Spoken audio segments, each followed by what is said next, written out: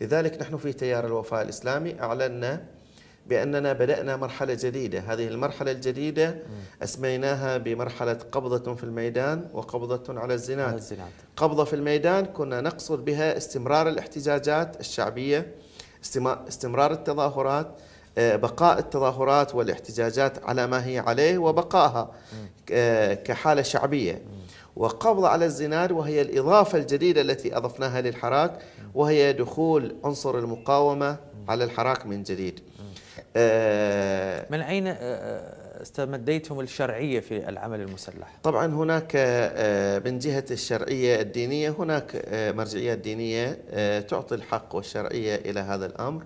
والحمد لله أن هناك مرجعيات دينية أصيلة ومؤثرة وقوية تعطي هذه الشرعية في طيب. هذا المجال. وهناك كما تعرفون أن السلطات الخليفية والاحتلال السعودي لم يعطوا فرصة لنا بأنه نبدأ نتفاوض أو نبقي على الحراك السلمي على ما هو بعد عليه. بعد كل هاي السنوات من التظاهر الآن نحن آه، ثمان سنوات منذ انطلاق الثورة إلى يومنا هذا. خلال هذه الثمان سنوات آه، هدمت المساجد آه، هدمت الحسينيات اغتصبت النساء. اعتقل علماء الدين. قتل شبابنا في السجون تحت التعذيب وفي الشوارع بالرصاص الحي. إلى أن وصلت إلى الإعدام حرق القرآن الكريم. آه، كل هذه المقدسات التي يمكن للإنسان أن يغار عليها وأن ينتفض عليها وأن يدافع عنها تم إهانتها والدوس عليها آه، بدون. بدون أي رادع ديني بدون أي عذر بدون أي وكان الحراك سلمي. لذلك كان هناك آه، فكرة تجول في خواطر كثير من الشباب بأنه لابد من إيجاد حالة توازن رعب. هذه حالة التوازن الرعب آه، يجب أن يكون فيها استخدام للقوة. هذه الفكرة ترجمت على أرض الواقع؟ ترجمت على أرض الواقع بحمد الله. كانت هناك عدة عمليات نوعية في البحرين. العدو الخليفي اعترف بأن هذه العمليات أبرز عمليات هذه نوعية. العمليات. أبرز هذه العملية هي عملية تحرير المعتقلين من سجن جو المركزي وهو أخطر سجن في البحرين. ويقع في منطقة نائية. يخضع لحراسة بحرينية. ويخضع لحراسة مشددة آه، حراسة بحرينية أردنية. و آه، يعني في غاية التشدد وغاية الحراسة وفي منطقة عسكرية نائية.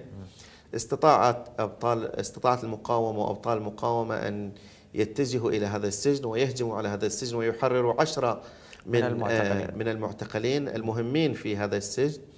آه، أيضا هناك حصلت عدة عمليات نوعية اعترف بها النظام الخليفي وبتأثير هذه العمليات النوعية. اليوم نحن لا نحتاج إلى أن نثبت لأحد بأن المقاومة في البحرين مؤثرة. يكفي أن يقرأوا التقارير الذي يكتبها الأمريكان. اليوم منذ انطلاق المقاومة في عام 2017 في 17 يناير نحن أعلنا 17 يناير 2017 آه، إلى هذا الوقت الذي نحن نتحدث فيه هناك عشرات التقارير التي صدرت عن مؤسسات أمريكية تعترف وتقر بأن المقاومة في البحرين مقاومة قوية ومقاومة تمثل تهديد للمصالح الأمريكية والمصالح البريطانية وتمثل تهديد على الوجود الخليفي في رأس السلطة.